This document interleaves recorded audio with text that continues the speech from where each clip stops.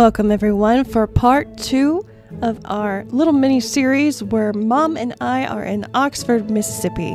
Part one, if you missed it, I will link it in the description below. We were in Oxford and we shared one of our favorite places with you called Discount Building Materials. Now, as you may have just noticed on the screen, we are now on to our next location, starting out with the mustard seed. Today, in part two, is going to be two antique malls. I'll explain that further. But we start here at the mustard seed.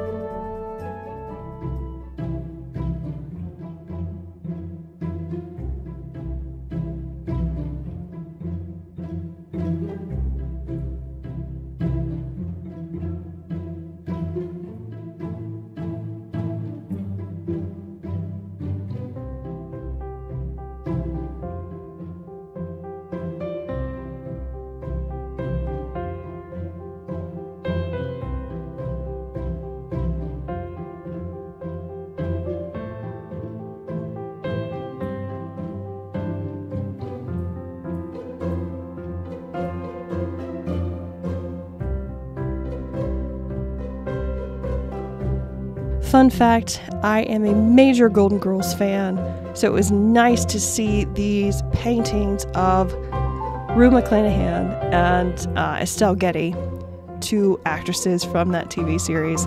I have seen these paintings now of Sophia and Blanche. I've also seen one of Betty White as Rose. I've yet to see one uh, Bea Arthur as Dorothy. If I ever come across that, that may be a holy grail for me.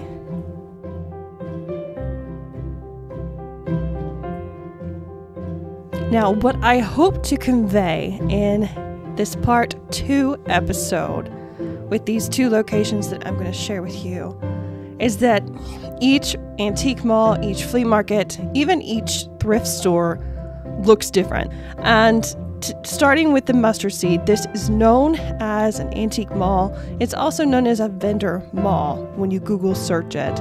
I think that is a good representation for this particular location. When my parents and I first started visiting the mustard seed many years ago, it was very much what I would expect to see in an antique mall or flea market. Most of the booths had vintage, antique, retro goods. There was very little representation of newer products. Over the years, as the um, customer base has changed and evolved, so have these booths.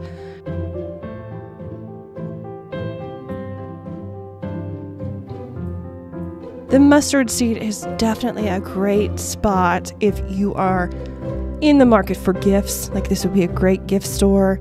Um, also, if you are a younger student, maybe attending the University of Mississippi, which is based here in Oxford, they definitely have many booths here tailored to dorm decor or even apartment decor for those who are students here in the area. And you're going to see that throughout much of these little snapshots.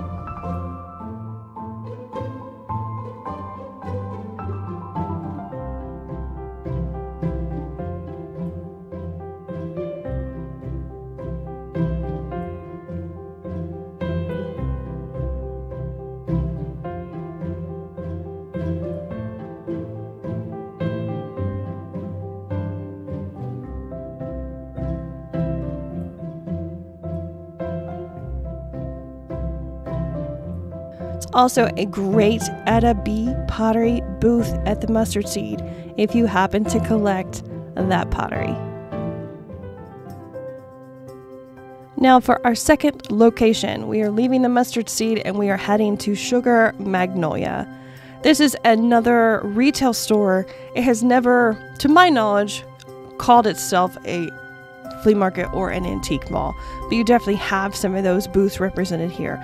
There's a lot of newer items here, a lot of mix of old and new together.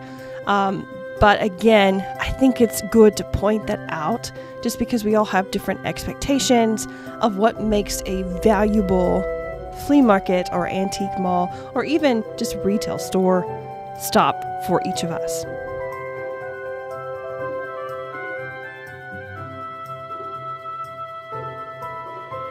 There are multiple vendors at the Sugar Magnolia who offer products specifically for uh, Mississippi or Oxford, Ole Miss, Rebels. Uh, so if you have any friends or family who has state pride or even school pride, definitely a lot of good items here. Again, thinking about gifts, Christmas, things like that.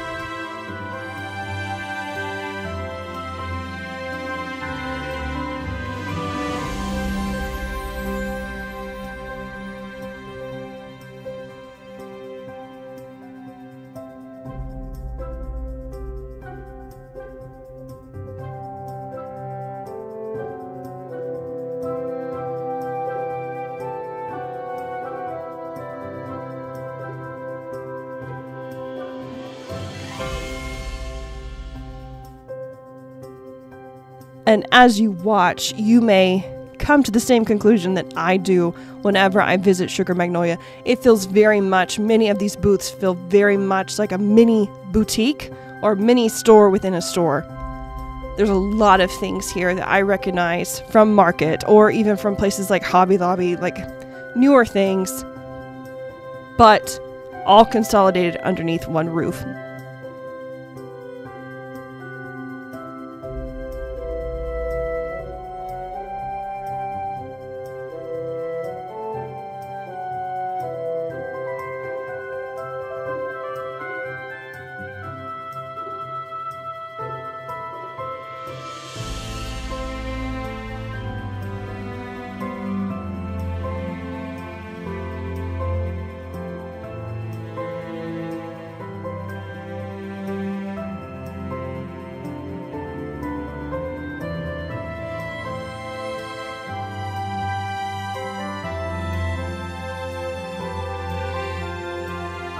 Now, mom specifically loved the blue boots hanging in this booth, and she wanted to make sure we captured them, did proper justice for the colorful nature of these boots.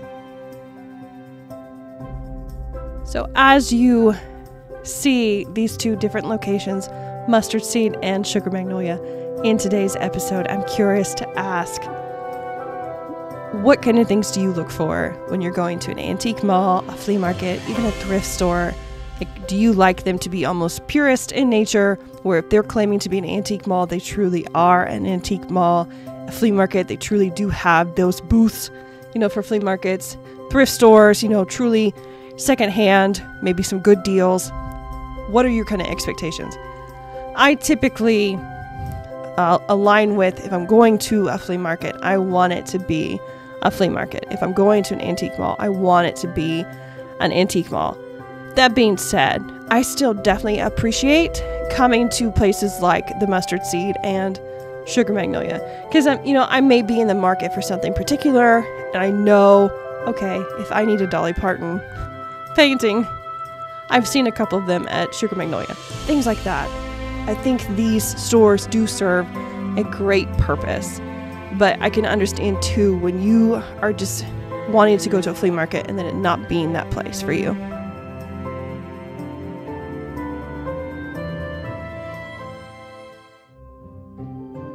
So, did we find anything in this part two episode? We did.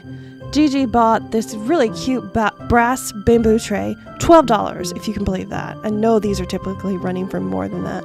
And then I found a couple of things some faux pink tulips, and then a great vintage uh, jewelry box, hand painted top, really nice. If you enjoyed this week's episode, we always appreciate the support. Let us know. Like, comment, subscribe. We'd love to hear from you. And until next week, take care.